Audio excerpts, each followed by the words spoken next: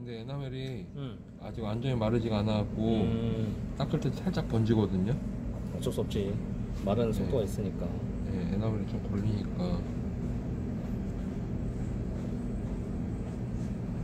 오, 이게 잘 닦네.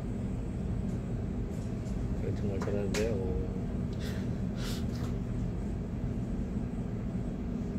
참, 이 부분 색칠 이 부분이 진짜 작업할 때 은근 신경 쓴단 말이야.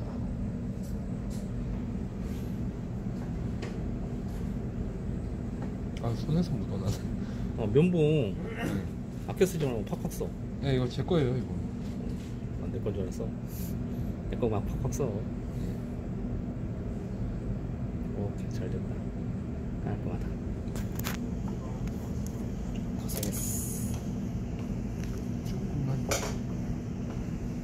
곳인데